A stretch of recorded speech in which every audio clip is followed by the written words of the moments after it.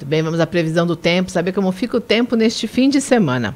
A temperatura neste momento está na casa dos 22 graus. A mínima registrada neste sábado, de acordo com o site do Clima Tempo, foi de 20 e a temperatura máxima deve chegar aos 31 graus tempo nublado já pela manhã, ele segue assim ao longo do dia e com possibilidades de chuvas durante todo o dia, inclusive à noite. 86% de probabilidade de chuvas para este sábado aqui na região de Rio Claro.